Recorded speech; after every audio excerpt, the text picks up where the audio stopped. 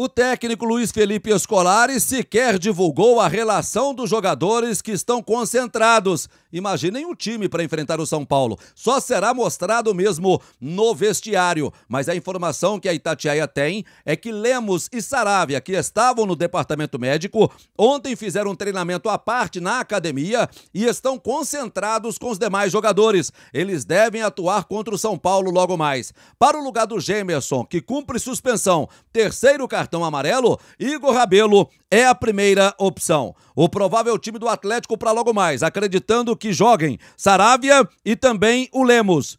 Everson, Saravia, Igor Rabelo, Lemos e Guilherme Arana na lateral esquerda. Otávio, Zaratio, Edenilson e Igor Gomes, o ataque do Atlético com Paulinho e Hulk.